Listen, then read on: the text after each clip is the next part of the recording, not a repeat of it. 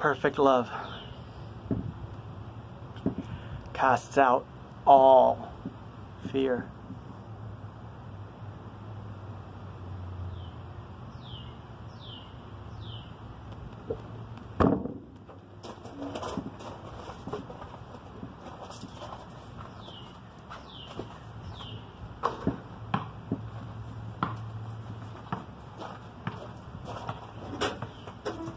Stay with perfect love, y'all.